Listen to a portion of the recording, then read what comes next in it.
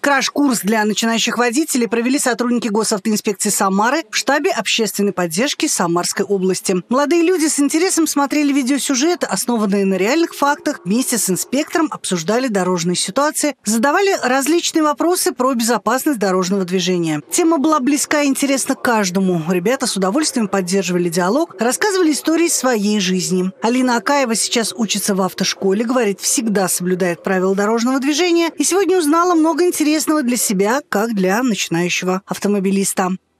Я э, считаю, что это правильно показывать такие видеоролики, так как это показывает пример, и люди понимают, что может быть, и поэтому нужно знать, какие могут быть последствия.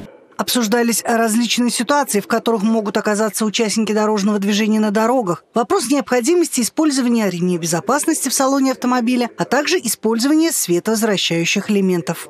За 12 месяцев 2023 года на территории города Самара зарегистрировано 1103 дорожно-транспортных происшествий, в которых 36 человек погибли, 1302 получили ранения различной степени тяжести.